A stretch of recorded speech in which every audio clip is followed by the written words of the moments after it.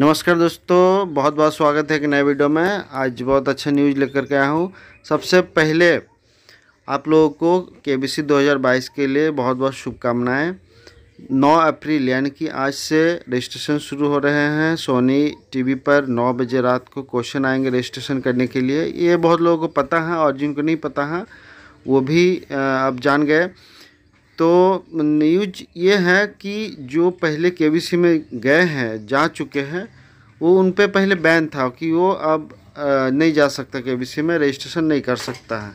लेकिन इस बार से वो रूल हटा दिया है। यानी कि जो टॉप टेन सिलेक्टेड कैंडिडेट होते हैं, जो स्टूडियो में फास्टेस्ट फिंगर फास्ट खेल चुके होते हैं ट्रिपल एफ़ तो उन लोगों के लिए बैन था कि नहीं जा सकता। लेकिन इस बार से जा सकते हैं। ये बैन हटा दिया गया है। ये बहुत अच्छी न्यूज़ है। बहुत लोग मुझे मैसेज करते थे, सर, जा सकते हैं कि नहीं? नहीं। और मतलब देखिए, वहाँ तक पहुँच गए और हॉट सीट पर नहीं पहुँच पाए तो कितना दुख होता है। लेकिन इस बार दोबारा ट्राई कर सकते हैं और ये बैन हट गया है। बहुत अच्छा न्यूज़ है। आप लोगों को कैसे लगा ये बताइएगा कमेंट में। और अगर नए हैं आप लोग सब्सक्राइब ज़रूर कर लीजिएगा वीडियो को लाइक ज़रूर कर दीजिएगा। तो आ, कौन नहीं जा सकता सिर्फ़ जो हॉट सीट पहुँच गए हैं वो नहीं जा सकते। बाकी सभी लोग जो आ, ट्रिपल एफ़ खेल चुके हैं वो जा सकते हैं।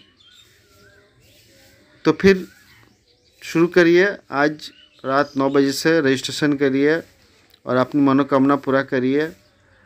आइए अब हम लोग देख लेते हैं कि सिद्धार्थ बासु जी ट्वीट किए हैं के वी सी रूल के बारे में 2022 के लिए के वी सी फोर्टीन सीज़न के लिए। F F candidates from earlier seasons who have not made it to the hot seat in earlier seasons will be please to note that there is no block on their registration for new for the new season यानी 2022 के लिए registration कर सकते जो triple F खेल चुके हैं।